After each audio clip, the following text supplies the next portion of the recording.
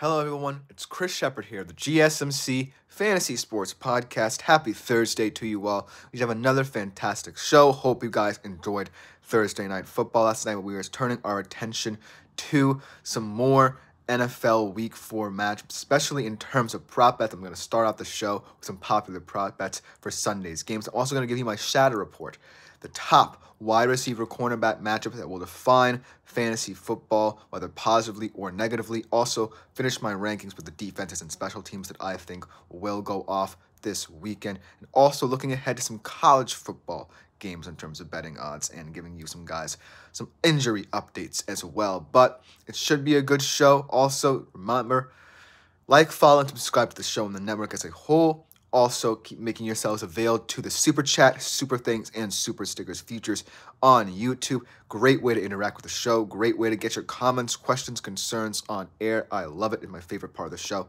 Let's have a good one.